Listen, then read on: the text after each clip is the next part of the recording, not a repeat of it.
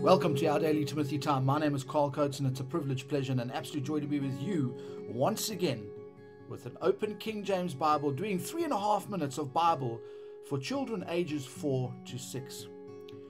Right, little ones, we're going to be starting off in verse 16 today of Daniel chapter 6 in the King James Bible. Then the king commanded and brought Daniel and cast him in the. Oh, little children, I've made a mistake. We need to go from verse 15. Okay, let's start again. Then these men assembled unto the king and said unto the king, Know, O king, that the law of the Medes and Persians is that no decree or statute which the king established may be changed. Then the king commanded, and they brought Daniel and cast him into the, the den of lions. Now the king spake unto Daniel, and thy God, whom thou servest, continue, he will deliver thee. And the stone was brought and laid upon the mouth of the den, and the king sealed it with his own signet, and the signet of the Lord's, that the purpose not, might not be changed concerning Daniel. Then the king went into his palace and passed a night fasting. Neither were instruments of music brought before him, and his sleep went from him.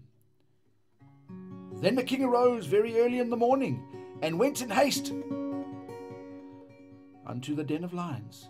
And when he came to the den, he cried with a lamentable voice unto Daniel. And the king spake and said to Daniel, O Daniel, servant of the living God, is thy God, whom thou servest continue, continually, able to del- deliver, thee, deliver thee from the lions? Then said Daniel unto the king, O king, live forever. My God has sent his angel and has shut the lions' mouths, that they have not hurt me. For as much as before him innocency was found in me, and also before thee, O king, have I done no hurt.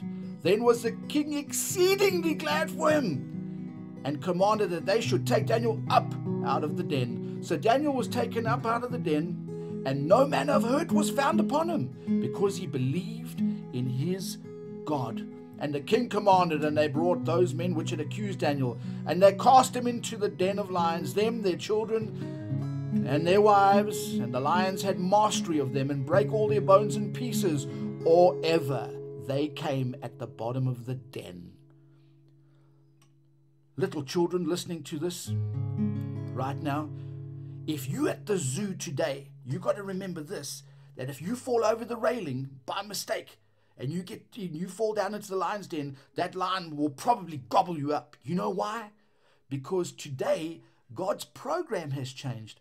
God today is not going to send an angel down to help you. So when you're at the zoo, make sure that you listen to mom and dad and you stay on the right side of the railing and don't fall into the lion's den. Anyway, I hope you enjoyed Daniel in the lion's den from Daniel chapter 6 in the King James Bible. Till we meet again next time, little children, keep your little sword sharp, soldiers. Grace and peace to you. Maranatha.